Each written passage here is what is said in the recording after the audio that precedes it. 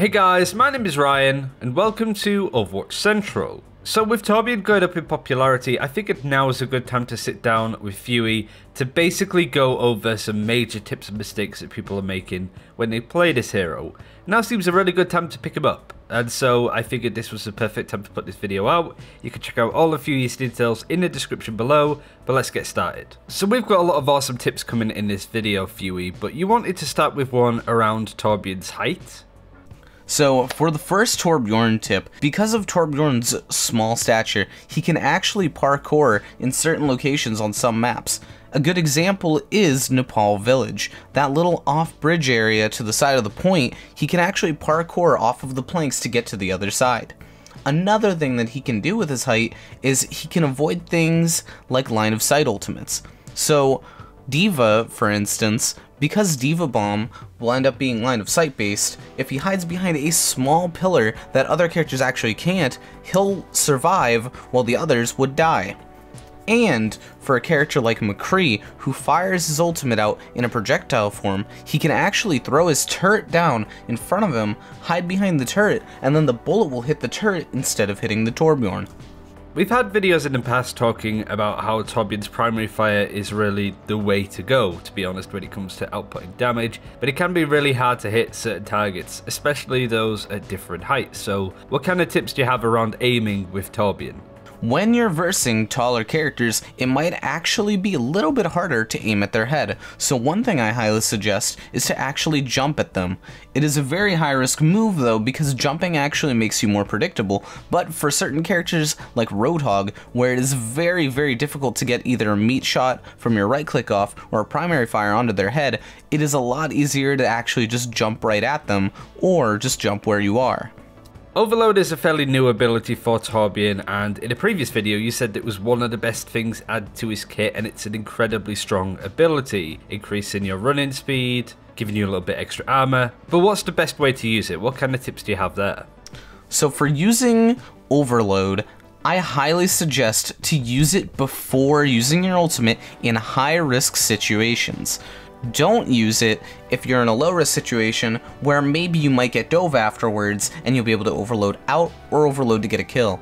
Using overload in a high risk situation avoids people shooting you and killing you and or throwing projectiles at you that you could have easily dodged if you had that extra movement speed.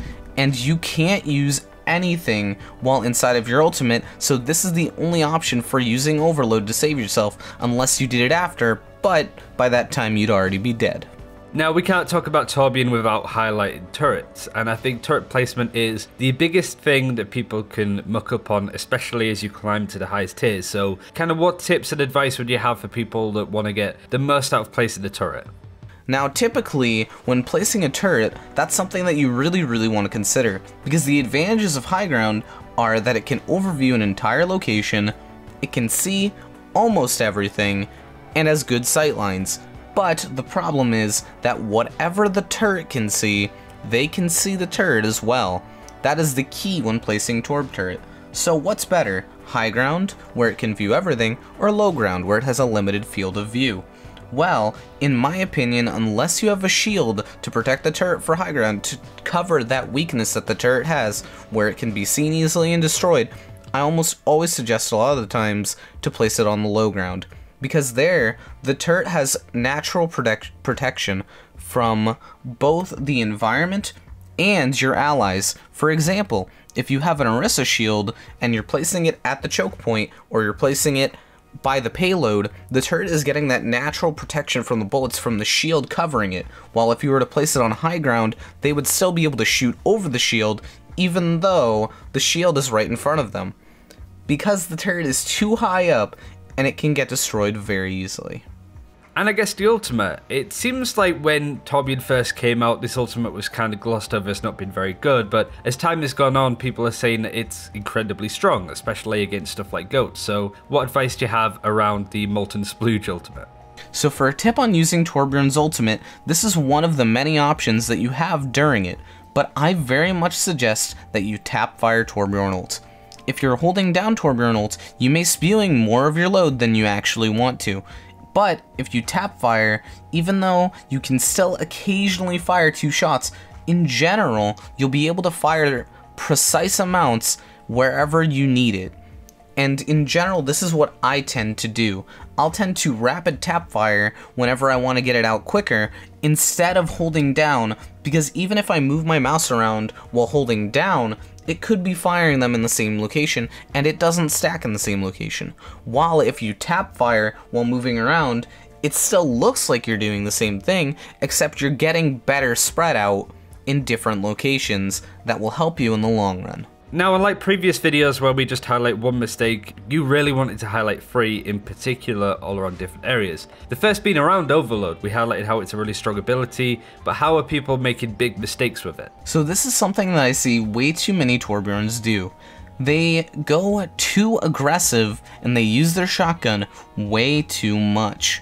Torbjorns will use their E to go in, they'll get maybe a kill, but then they will die, making the trade almost worthless because they have no way to get out now. They used their E as an engagement, their overload, and then they couldn't back out because they had no way to do so. Generally speaking, you use overload if you have team to back you up, or if you are caught by a roadhog hook or in a bad position that you want to get out of, so you use that movement speed and that kill potential to get the quick kill or get out or in 1v1 scenarios. But too many people use it as a sort of god mode when it doesn't really do that for you, and they go a little bit too deep. And on the shotgun note, too many people seem to think that shotgun is the end-all solution.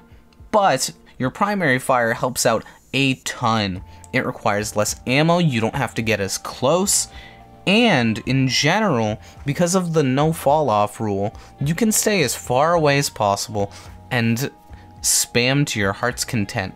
While shotgun, you have to be within the 15 meters for it to not take the fall off damage. You have to make sure that they don't have armor because each pellet will get negated by the armor. And you have to make sure that all of the shotgun pellets hit by being close enough but the close range for close enough is generally within like 3 to 4 meters because of the terrible shotgun spread, the random uh, way the pattern moves, because sometimes the star pattern will be upright, sometimes it'll be flipped. It's all random there. So in general, people use shotgun way too much. It is a good tool when you're close range, and it's good because it fires faster than your primary fire, so finishing off low health targets is good, but too many people rely so much on shotgun when primary fire is such a good option. Synonymous with Torbjorn is his turret, so what kind of mistakes do you see people doing? We kind of highlighted some advice for those that really want to get the most out of it, but what's one thing that people are really messing up on? So one thing I see a lot of uh, Torbjorns do that is very, very bad is they don't think when they position the turret. A lot of people will tend to put it a little bit too over the edge where it'll end up getting seen and shot at or killed, or they'll hide it in a corner that has virtually no value to where it can actually view. When placing the turret, there's a lot of things that you need to consider, but the most important I would say is create a goal in your mind for what you want the turret to do. Do you want it to cover your backline? Do you want it to shoot and provide fire support against shields? Do you want it to cover the choke? Whatever is in your mind that you want it to do, you have to consider that, as the options here end up becoming more and more. Because too many people end up throwing the turret in a random location that won't gain any value and it will die way too fast. The turret needs to have a goal and have some sort of protection. This is what we mentioned earlier with the low ground tip. The low ground protects the turret a lot more, even if the high ground gets a better view. But sometimes, sometimes, especially on last point overtime, you can put the turret on the high ground, it won't be focused because it's not the primary goal. Everybody wants to get everyone off the, the payload. So the turret can actually rapid fire everyone down without being focused, and it has a better positional advantage over the enemy team then. This is something to always consider, is that the turret positioning will be situational. And you actually had another mistake for the turret, especially when it came to healing. We haven't spoken about the hammer at all, really, but from the sounds of it, you shouldn't be getting it out too often, right? So for a mistake that a lot of Torbjorns tend to do, in my opinion, they tend to heal the turret too much. And they tend to do it in the worst possible scenarios. So when a turret is taking damage, in general, you would be better off leaving it to die. Because most people, most characters, will actually be able to just outdamage your healing, and you'd be wasting your time putting yourself in a bad position, and no matter what, the turret will end up dying, even if you want to save it. So I very much suggest that you leave the turret, and if it gets out of combat, then you place a new one even instead of healing it, because when you place a new one, you get the lower cooldown, and it's essentially full health now.